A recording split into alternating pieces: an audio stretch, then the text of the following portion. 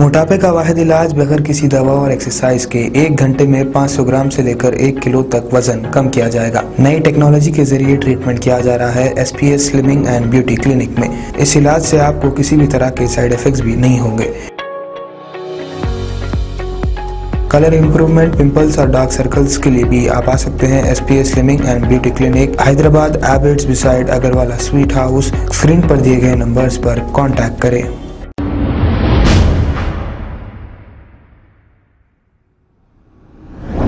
आसिफ नगर police station हदूद में आशिक ने किया अपनी ही माशुका पर कातिलाना हमला। तफसीत के मुताबिक आसिफ नगर के इलाके प्रिंस बार के करीब रहने वाले मोहम्मद नज़ीर नामी एक शख्स, जो पेशे से ऑटो ड्राइवर है फसलेंसर की रहने वाली बीबी जैनब और मोहम्मद नज़ीर एक दूसरे को पसंद किया करते थे। मोहम्मद नज़ीर ने बीबी जैनब को शादी की आस दिलाकर पिछले एक महीने से अपने घर में रखा हुआ था। उसके बाद बीबी जैनब वापस अपने घर चले गए। कल रात जब बीबी जैनब अपने कपड़े लेने मोहम्मद नज़ीर के घर गई थी तभी मोहम्मद नज़ीर और बीबी जैनब के बीच झगड़ा हुआ और मोहम्मद नज़ीर ने ब्लेड से बीबी जैनब का गला काट दिया। जैसे ही ये मंज़र वहाँ से गुजरते हुए एक शख्स ने देखा, उसने फौरी बीबी जैनब को लेकर आसिफ नगर पुलिस स्टेशन पहुँच गया और आसिफ नगर पुलिस ने फौरी ज़ख्मी बीबी जैनब को इलाज के लिए उस्मानिया दवाखाना मुंतकिल कर दिया और मोहम्मद नज़ीर ने अपने आप को आसिफ नगर पुलिस के हवाले कर दिया। पुलिस ने केस दर्ज करते हुए तहकीक़त का आगाज़ कर दिया है। आइए देखते हैं ये रिपोर्ट।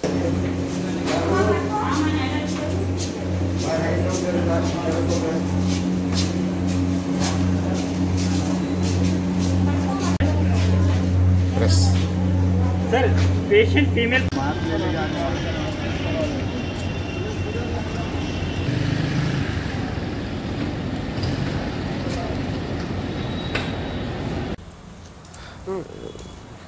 अस्सलाम वालेकुम रहमतुल्लाहि वबरकातुहू भाई मेरा नाम शेख फ़िरोज़ है।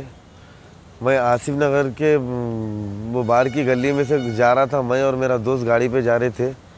तो हम लोग वहाँ पे जो है एक बहस हो रही थी, वो देख रहे थे ठहर के।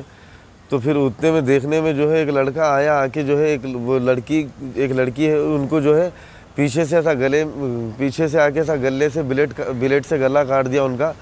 तो हम लोग देख के परेशान हो गए वो लड़का मार दिया, लेकिन कोई करीब नहीं आया उनके। तो हम, मैं और मेरा दो लेडीज़ थी, सर।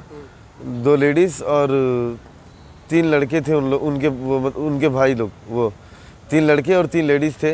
तो हम लोग उनको, वो लेडीज़ को जो है सीधा मैंने उठाया और मेरे फ्रेंड को गाड़ी पे बिठाकर हम लोग उसको लेकर आए। नगर पीएस को मैं लेकर गया तो साहब बोले कि डायरेक्ट हॉस्पिटल को लेके जाओ क्योंकि पहले ट्रीटमेंट कराओ बोलने के बाद वो वजूद हम जो है सीधा डायरेक्ट मैं जो है उस्मानिया ऑटो में जो है बिठाकर उस्मानिया हॉस्पिटल लेकर आया। उस्मानिया हॉस्पिटल में लाने के बाद जो है मैं अब तक तो यहाँ ठहरा था। वो देख रहे थे, वो ठहर कर तो वो लड़का जो है पीछे से आया।